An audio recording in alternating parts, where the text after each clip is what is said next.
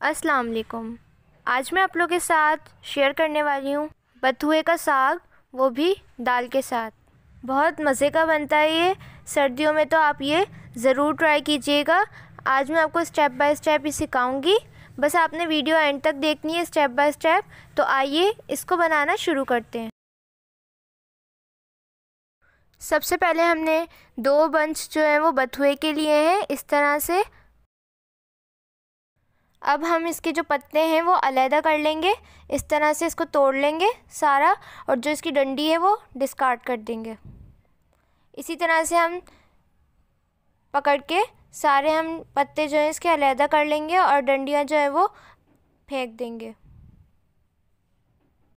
तो मैं ये सारी इसी तरह से कर लूँगी, फिर आपको दिखाती हूँ।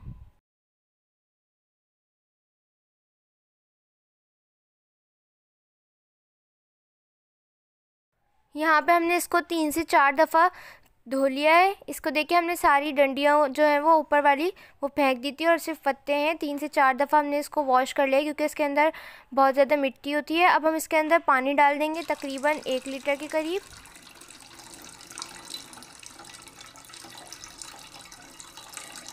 पानी डालने के बाद हम इसको अच्छे से बॉईल कर लेंगे, इतना कि ये बिल्कुल गल जाए।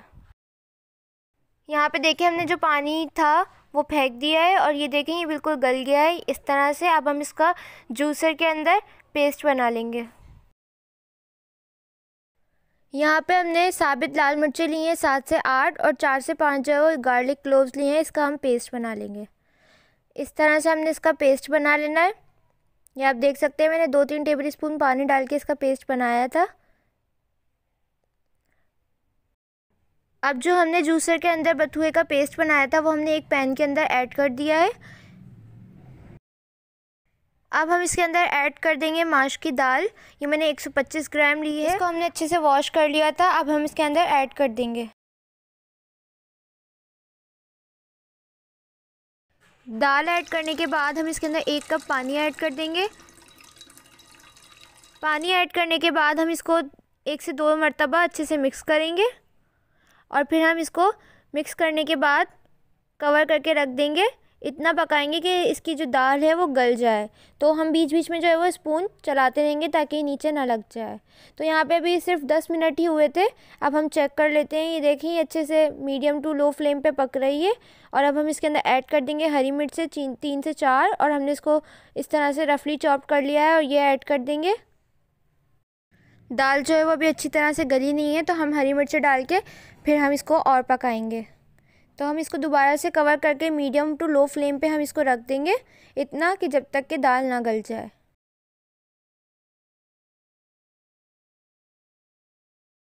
यहाँ पे 20 से 25 मिनट हो गए थे, अब हम चेक कर लेते हैं। ये देखें, ये अच्छा खासा पक चुका है। अब हम इसके अंदर स्पून चलाएँगे और चेक कर लेंगे कि हमारी जो दाल है वो गल गई है या नहीं।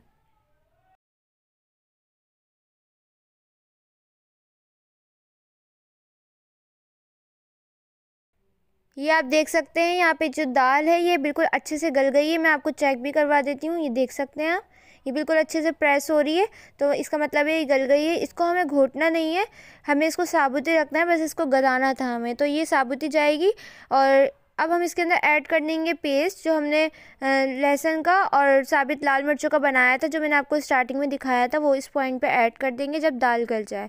साथ ही हम इसके अंदर ऐड कर देंगे नमक वन टीस्पून आप अपने टेस्ट के हिसाब से भी ऐड कर सकते हैं। ये दोनों चीज़ें ऐड करने के बाद आपने इसको अच्छे से मिक्स करना है।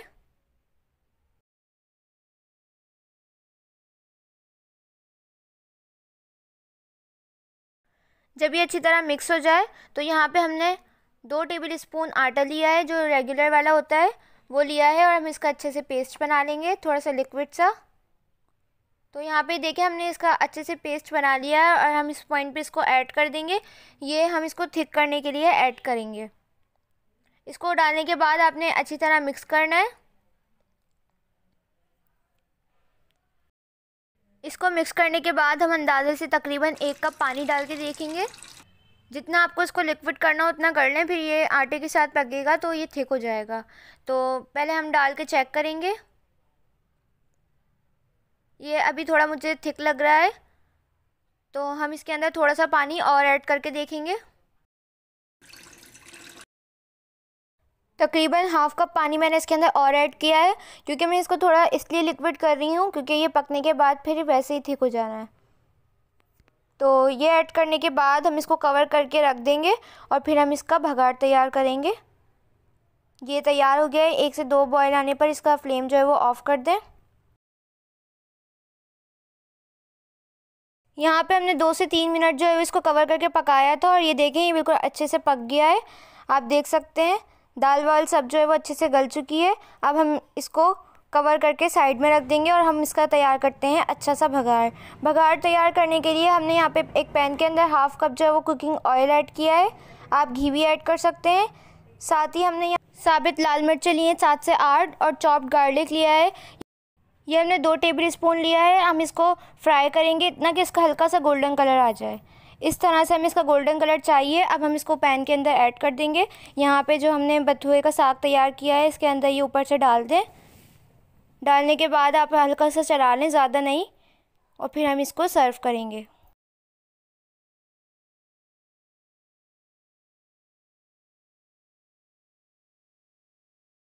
साग जो है वो तैयार हो गया है, अब हम इसको सर्व करेंगे।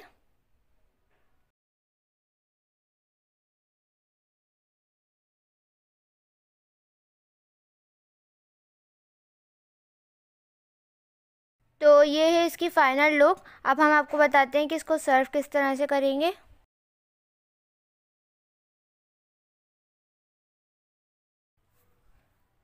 यहाँ पे हमने साथ ही एक प्लेट के अंदर बॉयल्ड राइस लिए हैं. रेगुलर वाले, इसको हमने बॉईल कर लिया है.